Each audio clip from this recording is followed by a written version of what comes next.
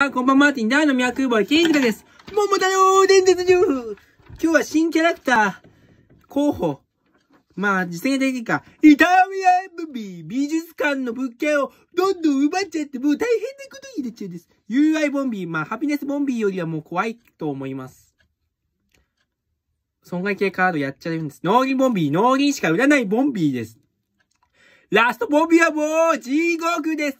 ギガボンビー以上に地獄です。もう、物件も金もカードも全部マイナス、ちょ、なくなっちゃうんですよ。どう思うあとは、単価ボンビー損害系カード毎回くれ。そして、で、遠くに行かさでお金払われるんですよ。もう嫌ですね。メガトンボンビー、メガトンバーンってすると物件売られたり、カードをなくしたり、お金取られたり、もう、メガトンバーンっててててててて。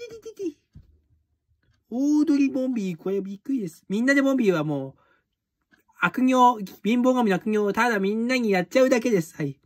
悪魔のサンタボンビーも悪いものをやっちゃうんです。あと、借金ボンビー、まあ、ビッグボンビーと同じですね。レッドボンビーもマイナスしかないんですよ。もう、ボンビア製みたいな感じ。グリーンボンビーは謎。カードボンビーはまあ、損害系ばっかり。マネーボンビー、お金をね。テラボンビーもいいですし、ディスペあん、デスペアンボンビー怖いね。